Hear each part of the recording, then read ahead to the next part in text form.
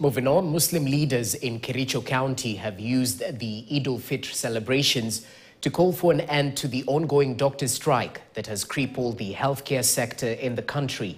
Speaking at the Kericho Mosque, the leaders asked both the medics and the government to prioritize patients' lives and engage in dialogue to find a lasting solution.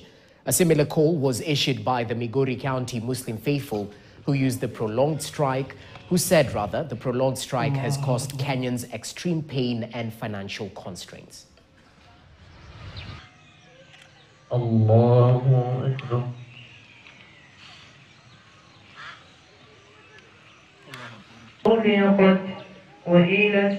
subhanahu wa ta'ala. Mimi naomba serikali sikizana na madaktari, kila kitu ni sikizano, kila kitu ni mdomo.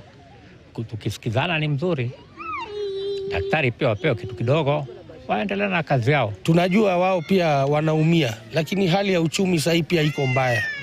Vile rais alisema mshahara itatoka, lakini sio vile wao wanataka.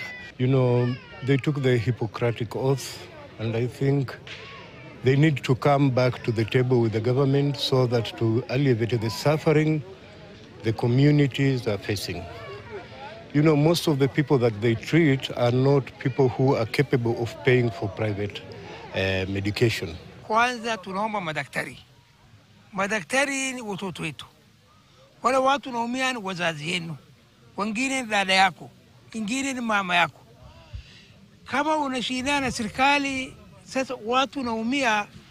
Kwa Swahili sema ndovu mbili aki- akishindana nyazi ndo naumia. Wenye kuumia ni wananchi ambao.